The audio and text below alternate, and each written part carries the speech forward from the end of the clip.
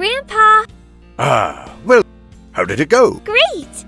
I was really moved by the principal's speech. He said that no matter who we will become or where we will go, it is important to always. And we took some pictures. I took one. Ah, Fujioka. Your favorite history. Yep. Fujioka has. Your teacher's parents are truly kind. And he himself was a calm child who spent his. And what was I like, Grandpa? Oh, sweetie, I already told you so. Aw, but you tell it so. You have your own way of telling stories. Oh, all right. I'll tell you once more.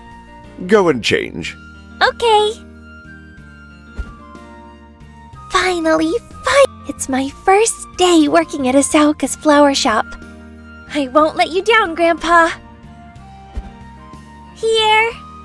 Well, then, do you want to try making a bouquet? I'll even make two if it's for. I always knew my granddaughter would.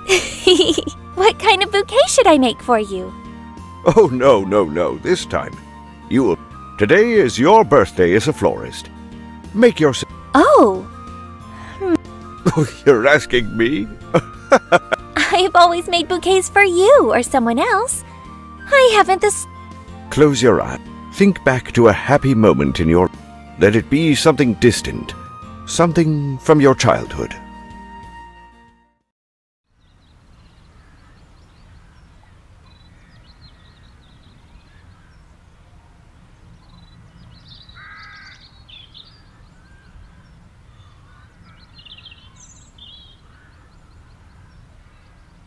Grandpa, what is a dream?